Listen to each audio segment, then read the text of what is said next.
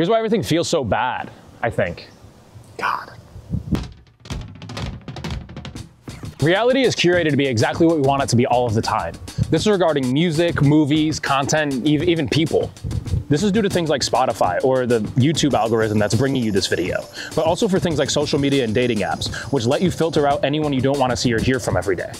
I mean, ideally we shouldn't be hearing from anyone every single day, but we are, we are far past that. Why the fuck is this person following me? Because you have made it available to do so. You can wake up and go to bed while consuming something you like at all times in between. Also, we're more passive than ever. We're all just kind of vaguely okay with the thing that's in front of us, not seeking out what we actually want anymore. It's like going to a diner and being like, give me anything. I mean, this is bigger than the diner metaphor, though. Like, in theory, you wouldn't even be, really be picking the restaurant. It's, uh, we're getting into semantics, it's fine.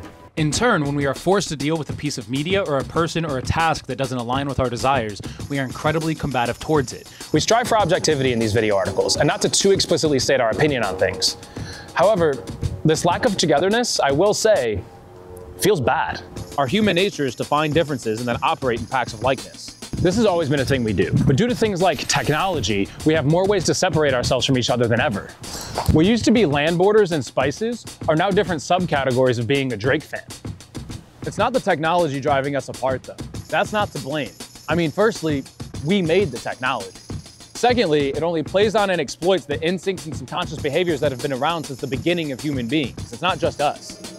And as for the things we do like, we can explore the full rabbit hole of whatever thing we want in a day or two and then have nowhere else to go. There's not a lot that can leave us with months and months of hope and wonder and thoughts and something to look forward to anymore. We can learn everything we want about anything we want in a weekend. This is why we're so unfulfilled. And because of the lack of common experiences, it's hard to hold a new conversation of any value. What's incredibly concerning is our communication in talking about this. The highest volume of communication now is on the internet, where certain words or phrases can catch. We continue to have less and less experience talking to one another in person. And when nervous, we lean on what is cool or comfortable or will signify to the other person that we're tapped the fuck in. And when these interactions don't go well, we then crawl back to the internet. Say there's a new album. Typically, there are three possible opinions. Bro, this shit is fire. How have I not heard this before? I, I see how you guys would like this. It, it's it's okay. It's it's it's mid. It's mid. Yeah, nah, bro. This shit's trash. This shit's trash. How do you leave the studio proud of yourself after making something like this? This binary language lacks nuance. The internet has popularized it in order to get reactions out of people, but it has spread to our brains and is the only way we interact with each other at all. Typically, trendy words or phrases mean that the culture is getting pushed forward, and the actual words are a cosmetic detail that mean the same sentiment as previous words or phrases. However, now it seems these terms have less substance and depth than ever. It's easier to be stimulated.